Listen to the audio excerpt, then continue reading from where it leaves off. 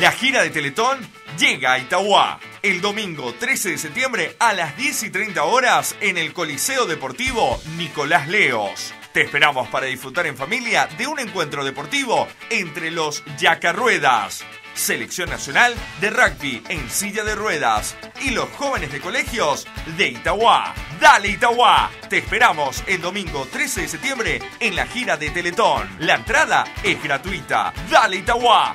Dale Paraguay.